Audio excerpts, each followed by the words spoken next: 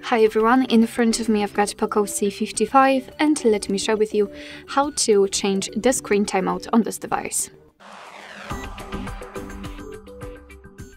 So let's start with opening the settings and here we have to scroll down to find the lock screen. Let's tap on it. Now let's tap on sleep option which is at the very top and as you can see here we've got some uh, lock screen options from which we can choose. So at the top we've got relatively short options and at the bottom mm, the longest time option which is 10 minutes or the never option which means that um, you will have to manually uh, turn off your device because it will never automatically black out. So all you have to do is to tap on the option you'd like to use and I will pick maybe 10 minutes and as you can see it is immediately notified right here which means that from now on after 10 minutes of an activity this device will black out.